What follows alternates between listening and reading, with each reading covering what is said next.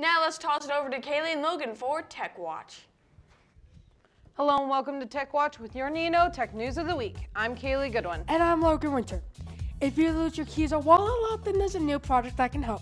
The TrackR is a little coin-sized device that can be attached to your keys, wallet, or anything you lose a lot. The device connects to a phone app, app that allows you to pinpoint where your missing item is.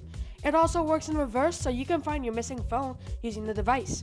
They are currently $30, but if you buy three, you get two free. Charging your cell phone may become a whole lot easier real fast.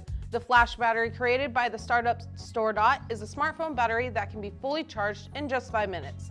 This is due to the fast transfer of ions in the battery. The new batteries will be available next year, but hopefully this could solve the problem of phones taking forever to get a full charge. For now, that's all the tech news we have for you this week. Find out more top tech news on Tech Watch.